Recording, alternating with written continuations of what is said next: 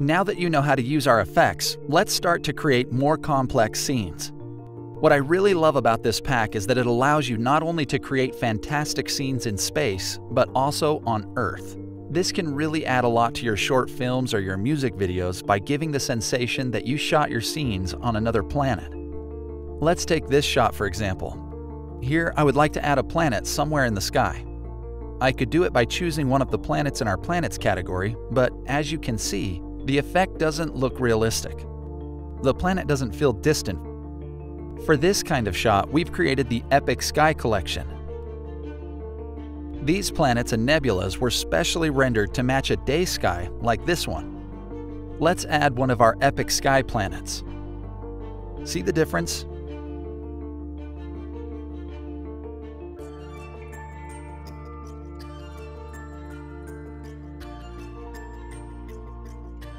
The nebulas give fantastic results too. Now, what if I want to completely change the sky in a scene?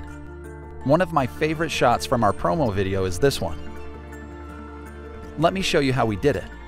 For this kind of effect to work, you'll need to have a great contrast between your environment and the sky.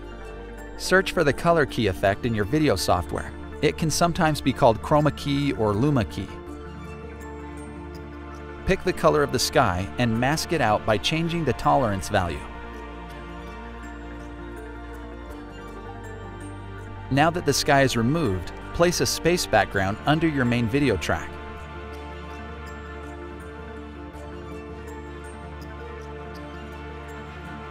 We don't want our foreground to look that bright. Search for a brightness and contrast effect, and take the brightness down so you only see the foreground as a silhouette.